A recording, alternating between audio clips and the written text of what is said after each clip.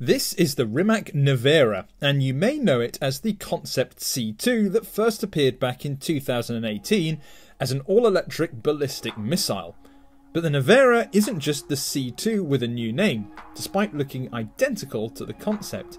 It's packed with a host of updates and tech and can reach speeds of nearly 260 miles per hour. With production now underway, here are 5 things you need to know about the Rimac Nevera. But before I get into the list, you remember what to do. Hit the like button and subscribe for more awesome videos just like this one. It may have a new name, but the Nevera's design is pretty much identical to that of the Concept C2, albeit with some subtle changes. Most of those tweaks concern the air intakes and diffuser, which have been slightly altered to improve aerodynamics. You may have to squint to notice what's different, but Rimac promises the Nevera is 34% more aerodynamic than the original concept. And while its smooth lines will no doubt make it super slippery, there's also a gigantic wing at the back to keep the car planted in the twisty stuff.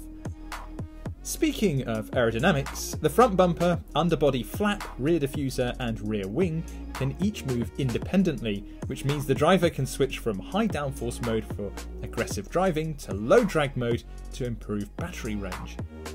The Nevera is built around a carbon monocoque chassis which weighs less than 200 kilograms. This gives the electric hypercar a phenomenal power to weight ratio and torsional stiffness. And fun fact, according to Rimac, the chassis is the largest single piece of carbon fibre ever used in the automotive industry. Rimac is keen to point out that the Nevera is just as happy playing the role of a Grand Tourer as it is a track day weapon, and that's definitely reflected by its luxurious interior. Deep plush leather coats just about every bit of available space, and the seats look comfortable enough to sleep in. A bank of piano key switches and two rotary dials are the only tactile switchgear to be found, but Rimac seems to have executed the minimalist look well. In terms of tech, there are a trio of screens comprising of a digital cockpit, an infotainment screen, and a display for the petrified passenger sat next to you so that they can see just how fast you're going. There's also a seriously cool onboard AI track assist that'll show you the optimal racing line when lapping a track, and if that circuit isn't supported, all you need to do is get a couple of laps in and the car will figure out the fastest route. Rimac creates cars that make piston powered machines run to their bedrooms in floods of tears, and the Nevera will be no exception. The hypercar packs a total of four motors, one on each wheel, that together produce 1,888 brake horsepower and 2,360 newton meters of torque.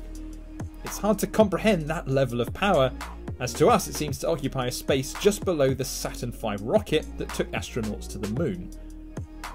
But the acceleration times add some useful context. 60 mph per hour from a standstill is achieved in just 1.85 seconds, a quarter of a mile is done in 8.6, and in just 9.3 seconds it'll hit 186 miles per hour. Of course, rivals like the Lotus Evija and Pininfarina Battista might have something to say about that when they're ready to roll off the line. Oh, and the Nevera tops out at 258 miles per hour.